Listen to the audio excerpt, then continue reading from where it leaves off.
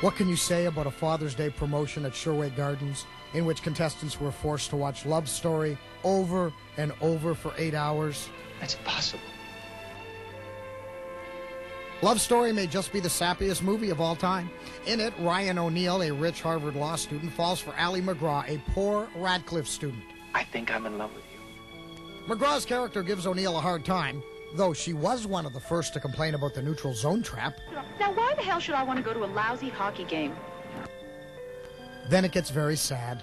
The man's father is a mean guy. If you marry her now, I'll not give you the time of day.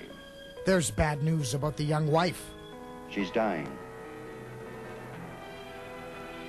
And to make it even sadder, Tommy Lee Jones gets only two scenes.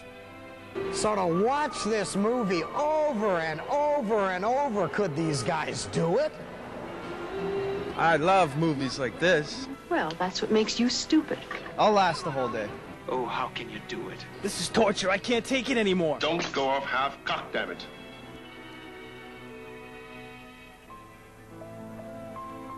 The winner from the Hallmark Romanceathon receives the uh, La-Z-Boy chair and the Bell ExpressVu satellite dish.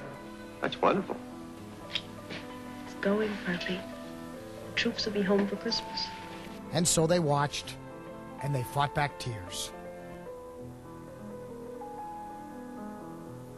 I'd like to tell you which one of these brave guys won the competition today, but I, I, I just couldn't stay to the end. I, I'm sorry.